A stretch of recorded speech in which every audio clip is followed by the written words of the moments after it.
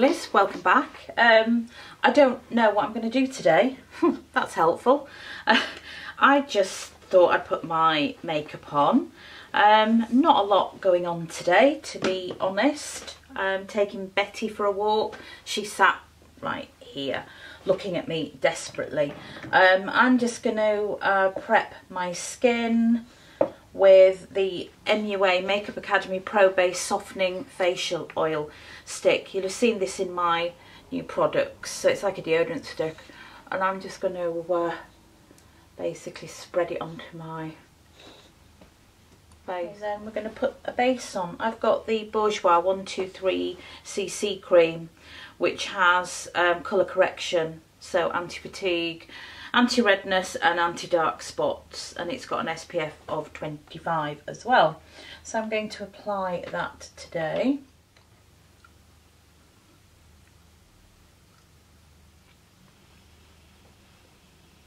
I do love this base because it's so rich and creamy. Sorry if you can hear noises. I have shut the windows but somebody's using a a drill to get through concrete and it, that noise really travels. We're also waiting for Storm Freya to arrive. I think she arrives here tomorrow, which is Sunday. Um, so that could be interesting. Winds, high winds. The Bye Bye Under Eye, the tiny one. They've brought out an illuminating one oh gosh this is nearly finished goodness me it really has lasted um, which I'm absolutely desperate to try but I have a brand new full one of those and the small one has lasted a long time as you all know. So I can't see that happening very very soon really. Um, but it is this is one of my favourite concealers. It's so creamy. But I always say to you I don't know what happens on camera. Um, I always put too much on. And I don't really spot conceal on, on camera either, you know, where you just use a really fine pointed brush and then just really carefully go over your skin. I do if I'm going out and spending time, but I don't know what it is about filming. I just feel when I'm filming, I just like to throw everything onto my face. You don't have to do it this way.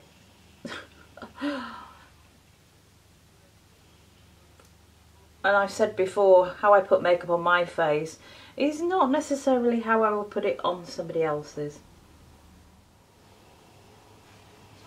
I'm going to use some of the English Mineral Soft um, colour. Um, this is from their blusher range. I'm going to use that as a bronzer rather than using a strong bronzer. I'm just going to use the soft.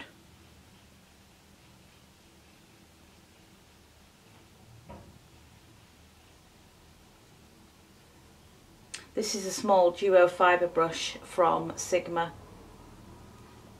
I just want to sort of place that. Then I will actually um, blend it down, I think, with a bigger, a larger headed brush. But this is such a nice peach colour. I'm going to put a little bit over the eyes as well. It's so lovely. So that was soft from the blusher range. You've seen me use the bronzer before. Because the light's so dull today, bronzer sometimes, it just doesn't sit right in that kind of light. But that blush is perfect. Right, um, I think I'll use the Marc Jacobs palette. Thank you to those of you who have been voting for the palette for March. Um, I'll give it another couple of days and then we'll decide. Each of them have got votes, but the most popular one so far has been the Fenty. So you have a choice of the Fenty palette, the Marc Jacobs, or I have the Narsissist palette as well. But Fenty so far is winning that race. Gosh, where did all those brush hairs come from? And I'm going to use the colour Fantasy, which is just this third one in. It's just sort of a pinky tone. I'm just going to push that onto the lid.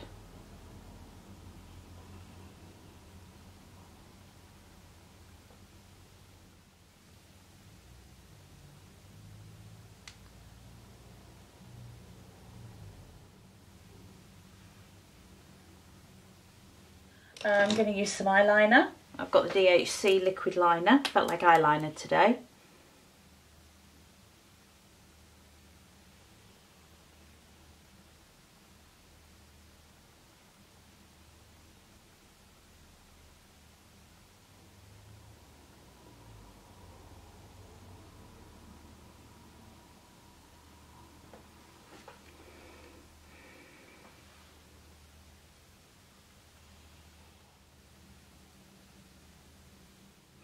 So, Oscars.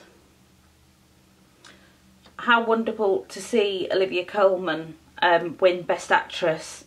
I just think she's so sweet. And her um, acceptance speeches, I've seen a few of them. Oh, she's such a delight. She really, really is. So yes, it was it was nice. I didn't watch it all actually. Um, and I do like my movie things but uh, I did catch catch that. So yes, it was it was really nice. And Glenn Close is now what seven Oscar nominations, which I think puts her in line with um, Deborah Kerr. Deborah Kerr got an honorary Oscar, I believe, presented to her by Glenn Close. I'm sure that's what happened. Anyway, I love Glenn Close, but I was super thrilled for Olivia Colman because I just think she's so, yeah, she there's just something about her that I really really like and her speech was lovely and she was genuinely shocked. Um, so she obviously just didn't think she'd win. So I just think it, it was lovely. So Oscars a little bit of brow gel. I put this on yesterday and there was a lot of it. The Rimmel brow this way and it was a bit scary. I went a bit Joan Crawford so I want to be careful today. Um, so yes and Andre Previn has passed away. Um, maestro, composer. And of course, if you're in the UK, you may have seen it in, you know, I don't know, I'm presuming maybe Morecambe and Wise have travelled to many areas of the globe, um, I would imagine. But in the UK, of course, Andre Previn will, I think, let's be honest, always be known for his role in the Morecambe and Wise sketch. Um, of I'm playing all the right notes, not necessarily in the right order. Brilliant. It was just perfection and the fact that he learnt the part on a plane um, travelling to the UK is incredible. His timing was brilliant, but I think also you can see how genuinely thrilled Eric Morecambe and Ernie Wise sketch. Absolutely thrilled with the whole thing. You can see, um, I think Eric Morecambe in particular, is just like brilliant. You know, he really was chuffed um, that it went so well. So yes, I've seen quite a few clips of the Andre Previn sketch, which is just, I hear the music, um, and when you see the orchestra behind properly belly laughing at things. I just think it, it, it, was just genius. It was absolute genius. And kudos to Andre Previn for doing it because my god the man was a maestro. You know he was top of his field. And it's lovely to see people who want to have a laugh. Um, and it was brilliant. So yes sad times but there's always his music his conducting you know obviously he's made records that kind of thing but there'll be that forever and it is just a piece of television genius. Um, I love it. I love Morecambe and Wise anyway, but that's just one of those sketches that I still, even though you know every step of that sketch, it's still funny. Um, I won't keep going on about it, but I love it a lot. If you haven't gathered. Right, let's have some Pixi um, highlighter. I like this and I am trying to use stuff up. And this is the Charlotte Tilbury uh, Powder and Sculpt. And also Lee um, Radziwill, Radziwill, Radziwill, um, Jacqueline Kennedy Onassis, uh, Jacqueline Bouvier Kennedy Onassis. Um, her sister passed away, and the Kennedys it's always been one of those interests of mine. I find the whole Kennedy thing, the Camelot thing, yeah, all of it absolutely fascinating. Um, lip and cheek tint from B Beauty. So yeah, she passed away. Um, and you kind of hear, you know, how competitive her and Jacqueline Bouvier, Kennedy, Onassis was. It must be very difficult, sisters, and your sister sort of marries somebody who ends up being the President of the United States. And, you know, I don't know. Is it natural to expect jealousy? Is it wrong to sort of force that presumption onto somebody? I'm not sure. But I find the whole Kennedy story, the Kennedy family, um, John F. Kennedy. Oh, my mum thought John F. Kennedy was lovely. Um, I remember saying to her once, where were you when John F. Kennedy was assassinated? You know, because people always say, you remember where you were when certain world events happen. And she said, oh, I don't know, Rebecca, I was busy. And it just made me laugh because you always have this everybody says, oh yes, I remember where I was. And mum was like, oh, I don't remember. She remembered being absolutely heartbroken and that it was just sort of completely horrifying. But she couldn't remember exactly where she was. Um, so it kind of broke that. I was waiting for the big story of, oh, I was at so-and-so, so-and-so, and then this happened. Um, but no, you know. And this is the shade, she says, looking bashful. I like the peachy coral tone. So yes, um, I've always had an interest in the Kennedys. And Jacqueline Kennedy, Jacqueline Bouvier Kennedy Onassis. I don't know why I have this urge to say all three of her surnames, but I do. Um, yeah, she just fascinated me as a person and wouldn't you love to know what she really felt about a lot of things? A lot of things. I'm not just talking about Marilyn Monroe, you know. It wasn't just Marilyn Monroe that was in the, you know, in the mix. I just love to know what she thought of a lot of things and, you know, Onassis, interesting. Mm, anyway, uh, Lola Makeup by Purse. Um, this used to be sold in Marks and Spencer's. Somebody mentioned it to me. Just to let you know, it isn't any longer. It's only available from their website, which is super reliable. And they've got all their range on there, so I will put a link. So, Lola Makeup. The Volume Mascara, you'll have seen this in a video as well. Um, and they kindly sent me this uh, mascara, you'll have seen anyway, the eyeliner mascara and that lovely lipstick that you all really liked. So I'm really thrilled, you really like that colour and it was absolutely beautiful. I was going to put it on today, but I'm not. Just to be awkward. And uh, they're going to send me a couple more bits as well. They were going to send me another mascara, but I just said, no that would be greedy because you just sent me one and I want to really work with this. Um, so maybe later we'll we'll share some other mascaras for you all to see what the options are. Um, but yes I will share those with you when they arrive. Radziwill, Radziwill, mm, probably pronouncing it terribly wrong. Um, but you know who I mean what else have I got to tell you? When I was saying to Craig about Andre Previn and he just said, oh, you and your dead celebrities. and it's, uh, it just reminded me of, and I don't know if it's purely a northern thing. And when I say northern, I mean Yorkshire in my case. I'm sure people will tell me. But I don't know whether it is. But um, it's kind of one of those things where, where I'm from, people of a certain age would talk about all the medication they were taking, but then they would also talk about who died, who looked as though they were about to die, who hasn't got much longer.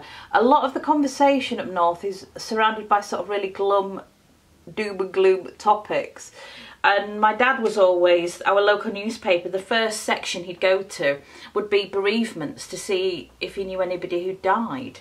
Um, and so when Craig said that, it, it kind of made me kind of made me laugh because I do sort of go, oh, that's a shame. Because it is a shame, you know. People like Andre Previn, you know, and I do like my movie star, so when a movie star passes away, I find that sad as well.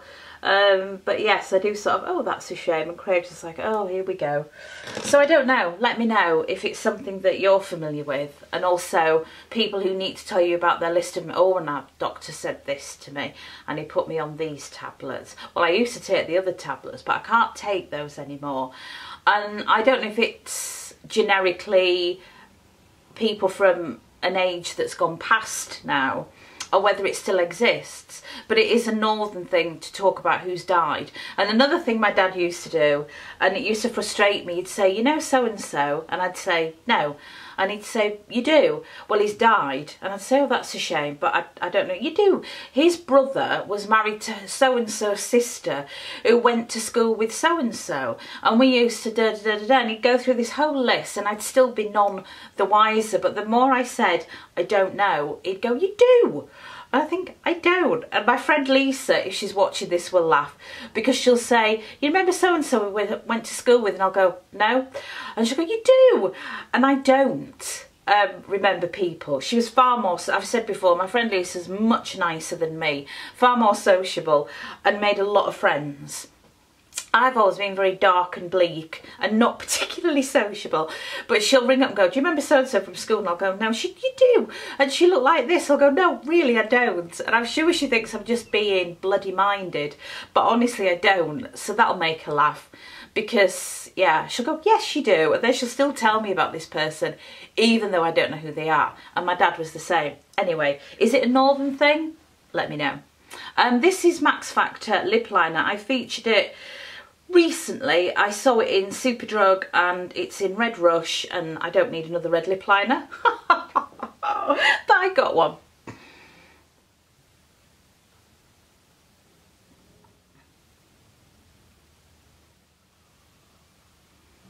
There we go.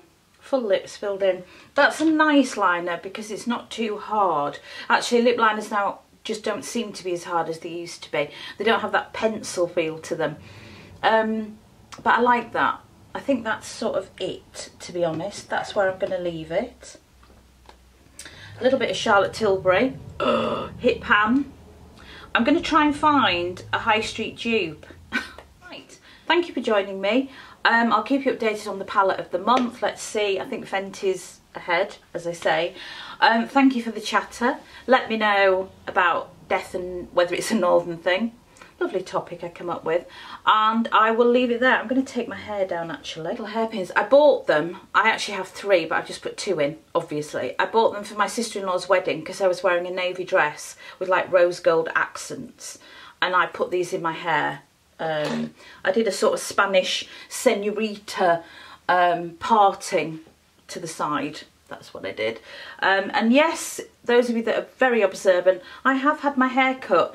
Um, it had got a bit straggly at the bottom and I just said to Craig the other night, oh, just cut my hair into a straight line. And he just went, no. And I said, please, I just want you to just cut it into a straight line. And he did. And I looked on the floor and nearly fainted. It's like that much. cut off but it needed it. So yes if you're very observant which a lot of you are my hair has gone a little bit shorter but it really needs a good trim. So there you go. And I, I do it myself to a point but sometimes I can tell how it grows that I'm not getting a good level. And I've had layers before and I've done all that but I just like a straight level at the bottom. And he did it which is great. Right thank you for joining me and I'll be back soon with another video. Bye for now